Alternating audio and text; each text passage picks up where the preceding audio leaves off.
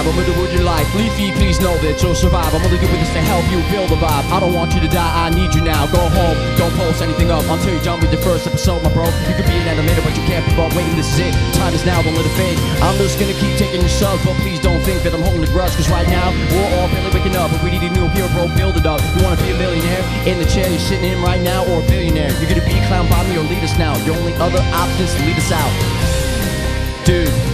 Can be so much bigger than YouTube. You seriously need to redirect your focuses completely on animation. You can do this. You can become so much bigger than this little box you're in, dude. Lead us, dude. That's what I'm doing.